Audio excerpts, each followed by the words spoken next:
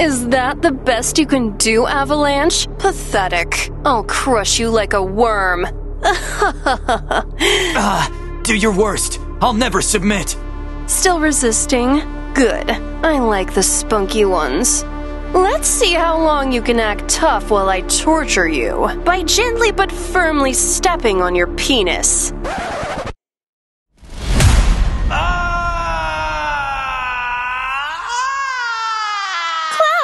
Oh no! Please, don't hurt him! Damn you, woman! Let him go! Take me instead!